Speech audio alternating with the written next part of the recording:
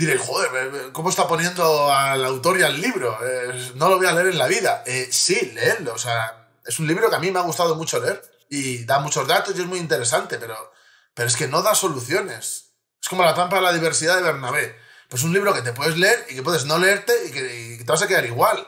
Porque no aporta, no aporta nada. Solo señala y describe cosas que son de sentido común, pero, pero no, no va más allá.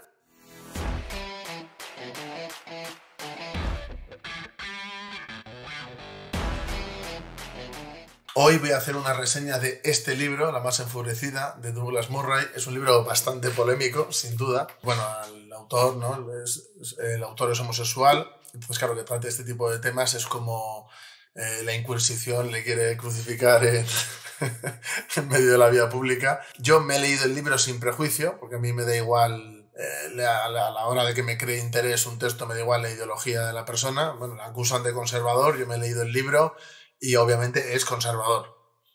O sea, ya no es lo que pongan en internet de él o no, eh, tú te lees el libro y es un tío que es un conservador. O conservador con influencia liberal, diría yo incluso. Luego la gente me dirá, oh, él mismo ha dicho, no lo sé, no he visto más vídeos de él, no es lo primero, lo primero que sé de él es lo que he leído y lo que he podido buscar en internet, que bueno, pues le criminalizan bastante al hombre. Como digo, después de leer el libro sí que puedo decir que sus planteamientos sí son de crítica a todo, para mí el pensamiento único del sistema, este, en plan, todo el posmodernismo, etc. Él habla de máximo cultural, pero bueno, él, que yo estoy totalmente en contra de ese término. Él denuncia eso y bueno, hace descripciones de cosas que pasan, sobre todo en Inglaterra y en Estados Unidos, que yo algunas las desconocía, otras sí las conocía.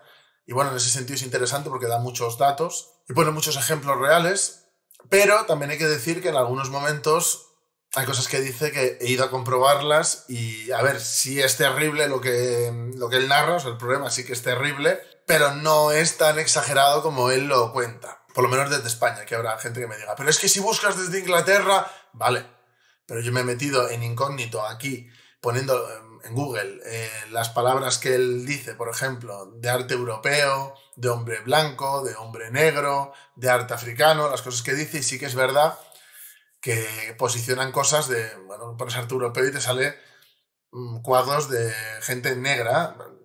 Hablando, estamos hablando de arte de unos siglos donde pues no había ni muchos artistas negros aquí en Europa, ni muchos cuadros sobre ellos. Como es lógico en esa época. Entonces pues es un poco raro. Si pones hombre blanco, es verdad que hay imágenes que te salen de hombres que no son blancos en la primera página de búsqueda.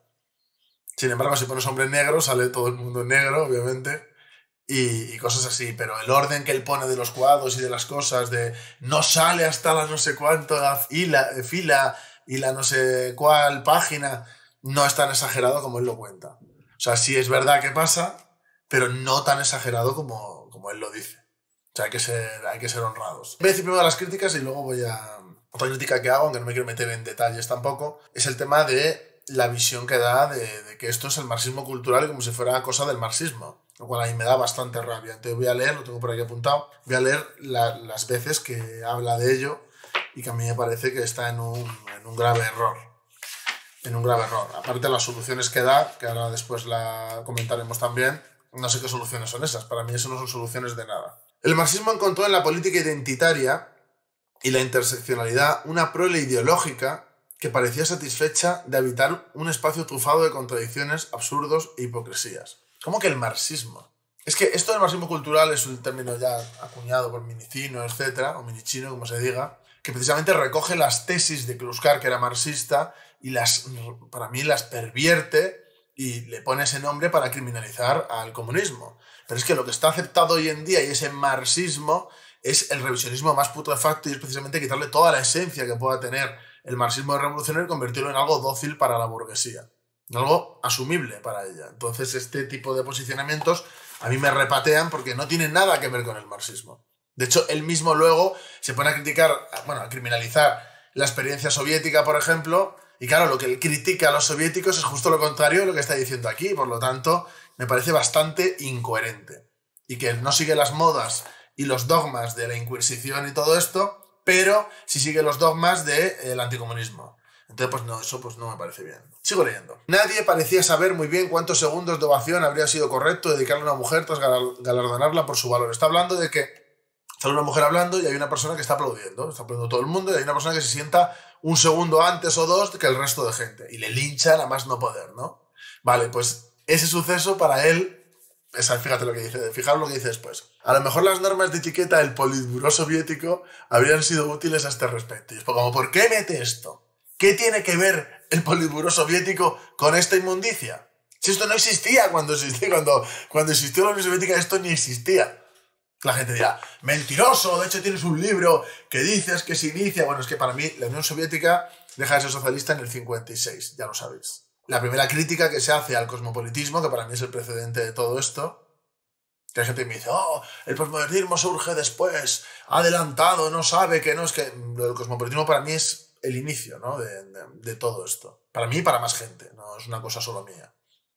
Pero lo que es la Unión Soviética posterior, aunque existiera este tipo de cosas a partir de la escuela de Frankfurt, etc., no era lo hegemónico. Lo hegemónico empieza a ser a partir de mayo del 68 francés, que es lo que defiende Michel Kluskar en, en sus libros. Entonces, esto de verdad que no entiendo. Este ataque así no lo entiendo. O sea, no lo entiendo. O sea, yo lo estaba leyendo y decía, eh, no tiene ningún sentido. Bueno, vamos al siguiente. Hay otros dos más. Pon POSIT, eh, te lo hará todo mucho más fácil. Y estos POSIT son un poco flojos. Aquí. Aquí estamos. Pero si la ausencia de discusiones serias y la presencia de contradicciones bastasen para detener la nueva religión de la justicia social, esta nunca habría llegado a irrumpir. Quienes creen que este movimiento acabará desinflándose a causa de sus contradicciones internas pueden esperar sentados. Yo creo que contradicciones tienen, hay que aprovecharlas, pero hay que buscar, o sea, hay que, reaccionar y confrontar a esto, ¿no? Es mi, mi opinión. Él dice, en primer lugar, porque no tienen en cuenta la subestructura marxista de gran... ¿Qué es subestructura marxista? ¿Qué es subestructura marxista? No lo dice en todo el libro. ¿Cuál es la subestructura marxista? No existe. No existe. Es, eh, de verdad, es como los Reyes Magos. No, no existe. O sea, por favor. Y, y si de verdad él cree que esto existe, que lo diga. Un libro de casi 400 hojas y lo dice, pero no lo, no lo desarrolla. ¿Cuál es esa superestructura marxista? No hay superestructura marxista. Lo que hay es capitalismo. Y esta ideología es una ideología que surge precisamente en un momento dado de desarrollo del, del capitalismo. Es que no, no tiene nada que ver con el marxismo, absolutamente nada. Entonces, estas cosas pues me enrabietan bastante. Continúo, porque hay más. Voy a leer otro más. Aquí hay más. El objetivo constante de los activistas de la justicia social en relación de cada uno de los asuntos que hemos tratado en este libro, y cita los asuntos, ha sido presentado como una fuente de agravios y defenderlos de la manera más, sí, defenderlos de la manera más incendiaria posible. Su deseo no es remediar, sino dividir, no aplacar, sino inflamar, no mitigar, sin incendiar. Una vez más, atisbamos aquí los restos de la subestructura marxista. Es que tócate la moral. Vamos a ver, vamos a ver, que el marxismo, ¿vale? analice la contradicción, bueno, en general, pero bueno, en este caso, la contradicción capital y trabajo, que haya clases, ahí está describiendo una realidad material que existe en las clases sociales y que hay una lucha de clases. También desarrolla, desde la perspectiva de clase, qué es el Estado, ¿no? Como instrumento de opresión de una clase sobre otra. Pero eso no se lo inventa el marxismo. Como este tipo de teorías que son inventos, que es algo idealista y que no tiene una base material, que eso lo critica. Pero es que lo que, lo que está describiendo el marxismo con esto, de verdad es que por esto digo que, que tiene una esencia liberal este tío también. Es que el marxismo es material, pero lo de esta gente es ideal. Son contradicciones imaginarias. Con las escalas de opresiones, las pirámides de opresiones, etc. Es que eso no existe. Pero la lucha de clases y las clases sociales sí. Son algo material, palpable, que se puede comprobar. No es solo una teorización.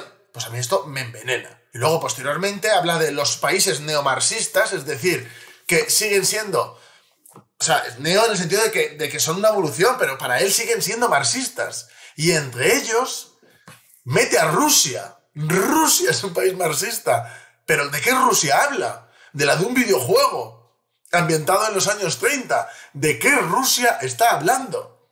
Es que me parece verdaderamente de locos, de locos, de locos. Y luego las soluciones que da, mira, hay un, apartado que se llama soluciones. Y dices, excelente.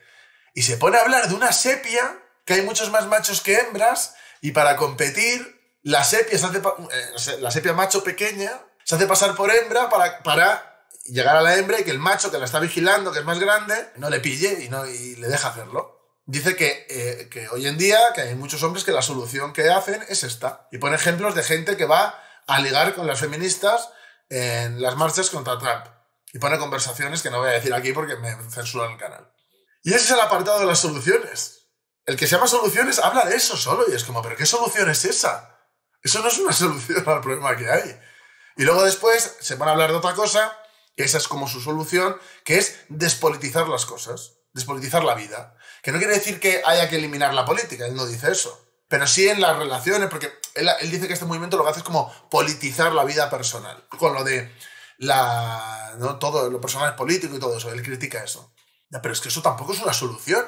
Porque si el problema que hay es la alienación de la gente, porque esta politización que dice él es alienación de que la gente repite mantras de la moda que hay y los repite todo el rato y, eso se va propagando y es como una infección. Es como una epidemia. Una infección es cuando va a la persona, pero es una epidemia. Pero es que eso no es una solución tampoco. Porque precisamente lo que habría que hacer es concienciar a la gente para que tenga la capacidad de análisis de rechazar todo esto. Entonces su solución es contraproducente. Pues obviamente yo eso me parece muy pobre la, la, conclusión.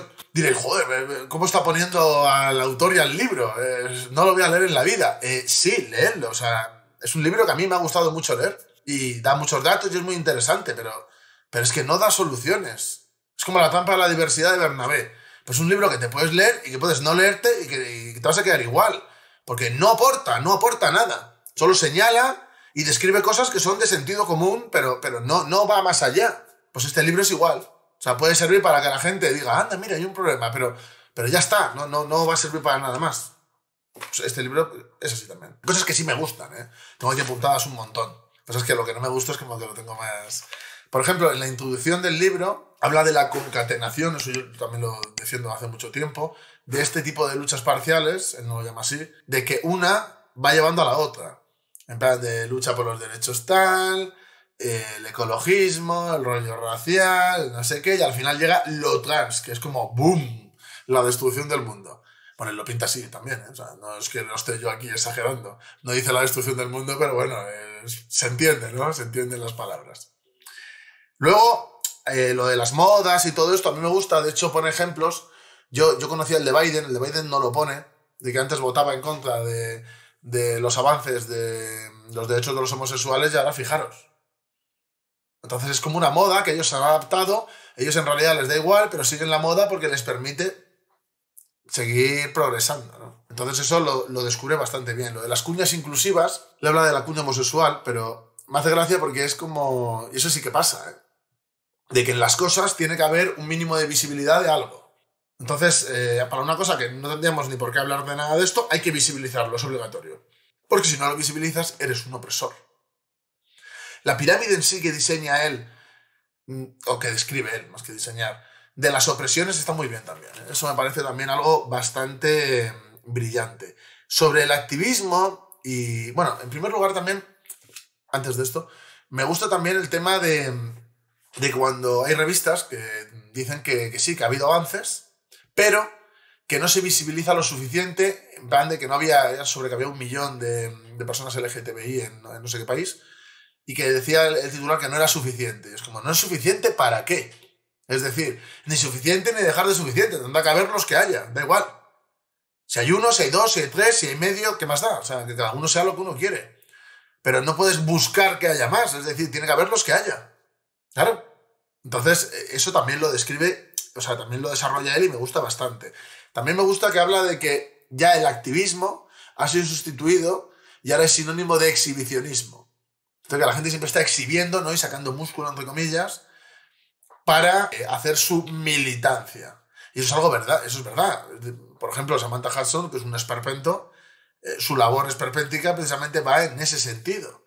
Y él en Inglaterra y Estados Unidos esto está más avanzado y está más profundo que aquí, pero claro, es que es lo que va a pasar dentro de unos años. Entonces, claro, lees las cosas que han pasado allí, que yo lo he ido buscando. O sea, las cosas que cuenta las he ido buscando. Y la mayoría son ciertas. Entonces, claro, se te queda un estado de preocupación importante.